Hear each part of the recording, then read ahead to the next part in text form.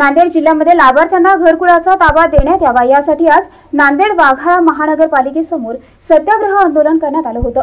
घरकुल हक्क संवर्धन समितीच्या वतीनं लाभार्थ्यांना घरकुलाचा ताबा देण्यात यावा. यासह विविध मागण्यांसाठी सोमवारी सकाळी महानगरपालिकेसमोर सत्याग्रह आंदोलन करण्यात आलंय. यावेळी समितीचे अध्यक्ष श्याम निलंगेकर यांच्या नेतृत्वाखाली झालेल्या या आंदोलनामध्ये महिलांचा लक्षणीय सहभाग होता. मागील काही वर्षांपासून निलंगेकर सातत्याने घरकुलसाठी लढा देत आहेत.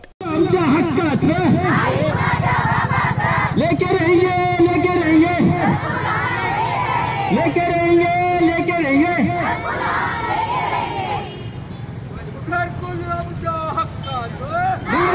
नांदेडहून नरेश दंडावते एमसीएन न्यूज़ नांदेड।